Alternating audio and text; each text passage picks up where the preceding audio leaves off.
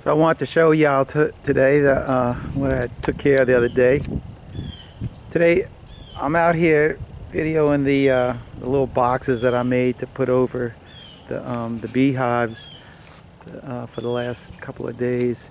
The, uh, the temperature dropped to about 17, 15 degrees, something like that.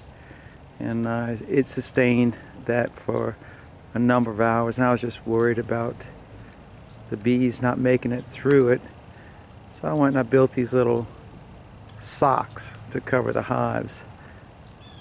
Uh, so today I'm gonna go out and uh, remove the um, the covers from from the box, and I'll show you what they look like.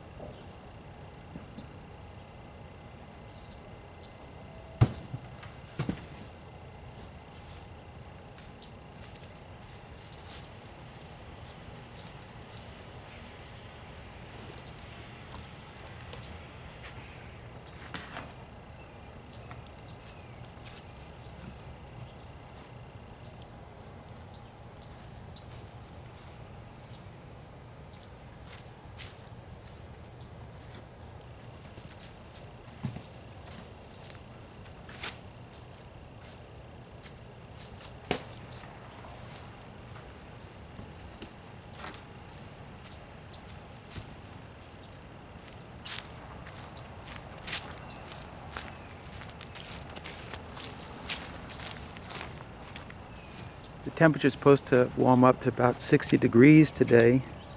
And uh, since it's going to get that warm, I didn't want those uh, boxes to stay on there. And uh, that's all it is, just one inch foam boards that just ripped into the width and, and height of the boxes. And I just slide them right over it. And uh, hopefully that was enough to um, protect the bees, save them, because I sure as heck don't want them to die. Alright, that's about all for right now. I'll let you know later if the bees made it through the cold. God bless.